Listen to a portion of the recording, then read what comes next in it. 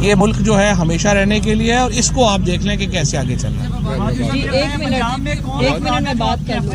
एक मिनट। आपके कौन अपराध पंजाब में हुकूमत आपकी पंजाब पुलिस अच्छा मैं पहले बात एक सेकंड दो सेकंड दे दीजिए। देखिए दो चीज़ें आपने जहन में रखनी है। फवाद आ जा रहे दो चीज़ें आपने जहन में रखनी है। एक तो सोसाइटी इस टाइम मुकम्मल इस तरह का शिकार है। कोई जाती लड़ाई नहीं है किसी से। फवाद चौधरी किसी कब्जे में, किसी ज़मीन में, किसी करप्शन में नहीं पकड़े गए।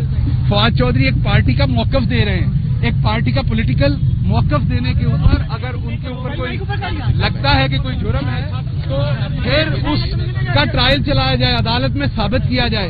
इस तरीके से उनको अंदर रखना, इस तरीके से उनको अंदर रखना एक हीनियस क्राइम के मुजरमों की तरह यह दुरुस्त नहीं है यह मुनासिब नहीं है। कि इंशाल्लाह ये हो जाएगा। अच्छा मैं एक इम्पोर्टेंट बात इसमें ऐड कर दूँ। सेक्रेटरी जनरल ने अदालत के अंदर भी एक बड़ी इम्पोर्टेंट बात की वो ये कि कल संडे को रात 10 बजे आइन की डेडलाइन ख़त्म हो जाएगी। आइन की जो डेडलाइन है क्योंकि सात दिन का टाइम चाहिए स्केजूल के बाद और फिर चौवन दिन का स्केजूल चाहिए।